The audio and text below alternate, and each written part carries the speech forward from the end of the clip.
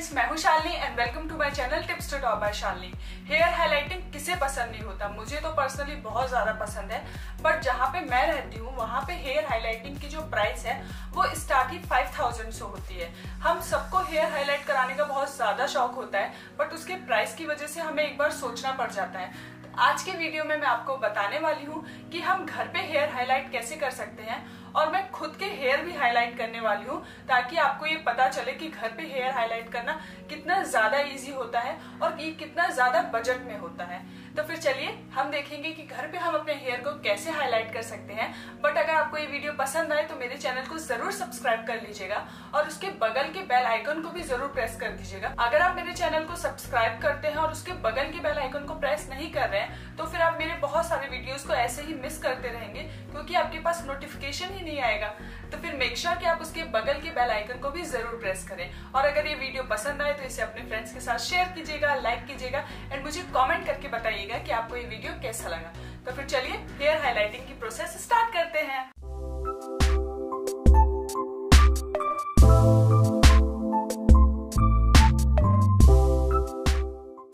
तो फ्रेंड्स यहाँ पे मैं यूज़ कर रही हूँ स्ट्रिक्स का अल्ट्रा हाईलाइट और ये जो शेड है, वो फ़र्स्ट शेड है। इसमें दो शेड अवेलेबल है, क्योंकि मैं घर पे अपने हेयर को हाईलाइट कर रही हूँ। इसीलिए मैंने सोचा कि मैं वन वाला ट्राई करूँ, क्योंकि ये थोड़ा सॉफ्ट हेयर हाईलाइट है। और इसकी जो प्राइस है, वो केवल वन थर्टी रुपीज़ है।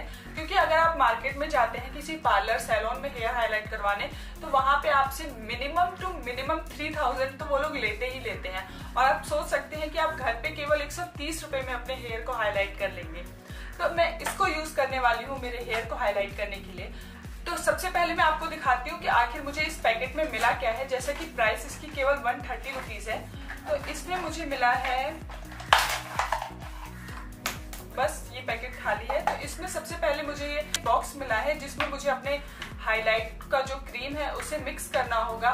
बट मैं इसे यूज़ नहीं करूँगी, क्योंकि थोड़ा सा मुझे लग रहा है कि प्रोडक्ट इसी में रह जाएगा। तो मैं अपना बोल यूज़ करूँगी। यहाँ पे हमें मिलता है ये कंडीशनर आप हेयर को हाईलाइट करने के बाद अपने नॉर्मल शैम्पू से शैम्पू कर सकते हैं बट आप कोशिश कीजिए कि आप कंडीशनर यही वाला यूज़ करें, क्योंकि इसके साथ है और ये आपके हाईलाइट को थोड़ा अनहेंस करने के लिए काम में आएगा। फिर यहाँ पे मुझे मिला है ये ब्लॉन्ड पाउडर और इसके बाद ये डेवलपर हमें इन दोनों को मिक्स करना है, उसके बाद हमें इसे अपने हेयर पे अप्लाई करना है। तो इसको मैं रखती हूँ साइड में। इसके अलावा हमें और क्या क्या मिला है, ये भी मैं आपको दिखा देती हूँ।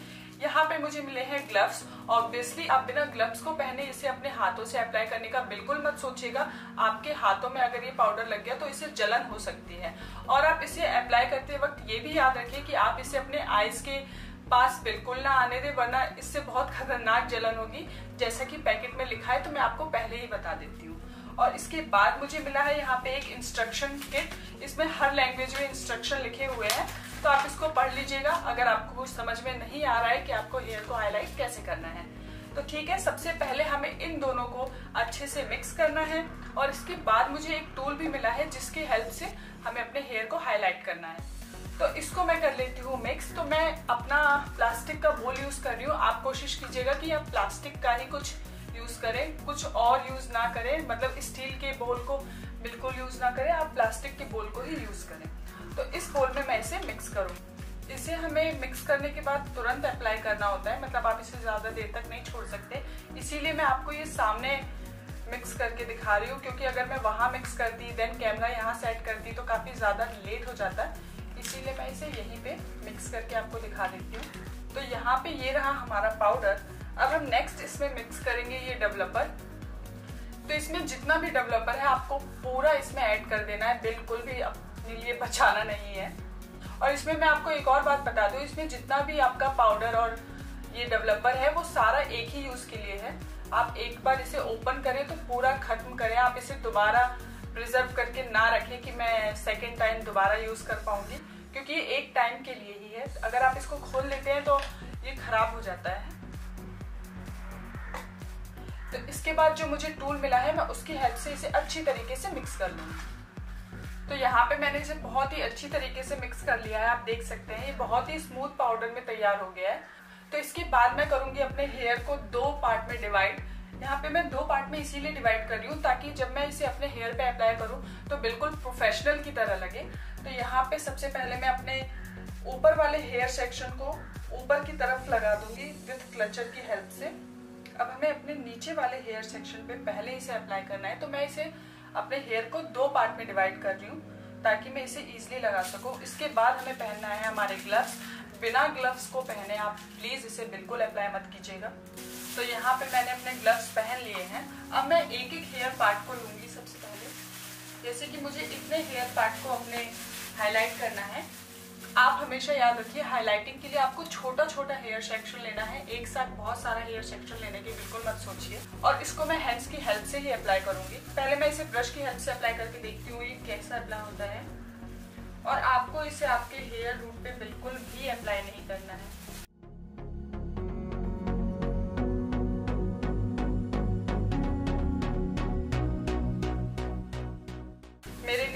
से अप्लाई करना ज़्यादा ईजी रहेगा। तो मैं इसे हैंड की हेल्प से भी अप्लाई करूँगी।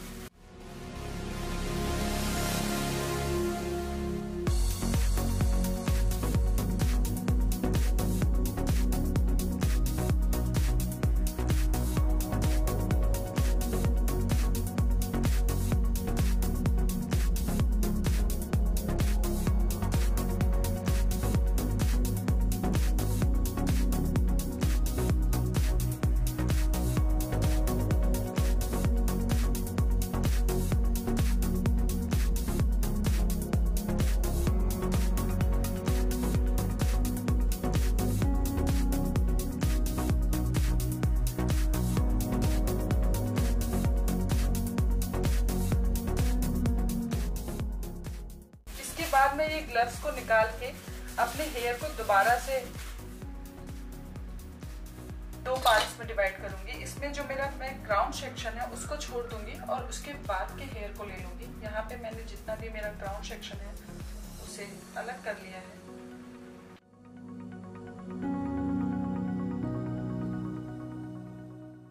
तो फिर से यहाँ से मैं एक हेयर सेक्शन को लूँगी सबसे पहले।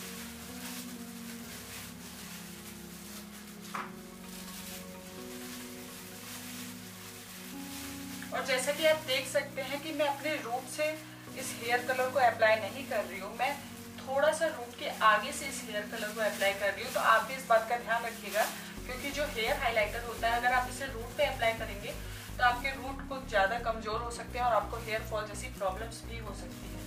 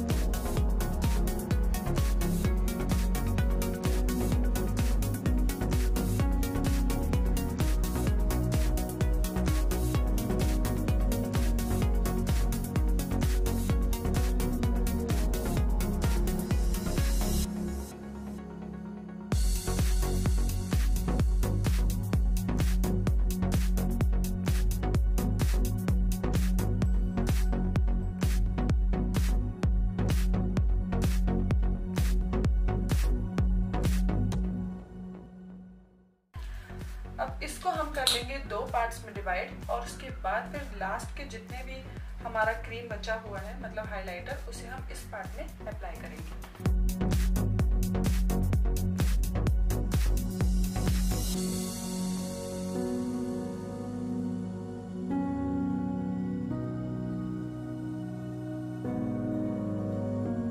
और यहाँ पे मैंने मेरे हेयर्स को अच्छी तरीके से हाईलाइट कर लिया और आप देख सकते हैं कि मुझे मेरे हेयर को हाईलाइट करने में ये पूरा पाउडर खत्म हो गया। मतलब ये आपके हेयर को हाईलाइट करने के लिए काफ़ी ज़्यादा इनफ है। तो मैंने इसे अपने हेयर पे अच्छी तरीके से अप्लाई कर लिया है। अब मुझे इसे ड्राई होने के लिए छोड़ना है 30 मिनट्स तक और 30 मिनट के बाद मैं इसे अपने किसी भी शैम्पू से और जो मुझे इसके साथ कंडीशनर मिला है, उस कंडीशनर की हेल्प से वॉश कर लूँगी।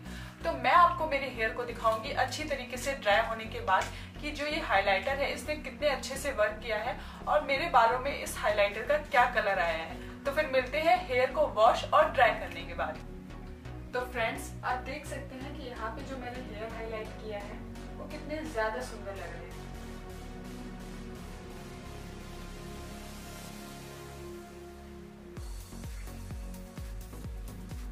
तो इस तरीके से आप घर पे अपने खुद के हेयर खुद से हाईलाइट कर सकते हैं और इस हाईलाइट को पाने के लिए आपको पार्लर में जाकर बहुत ज़्यादा पैसे खर्च करने की ज़रूरत भी नहीं पड़ेगी।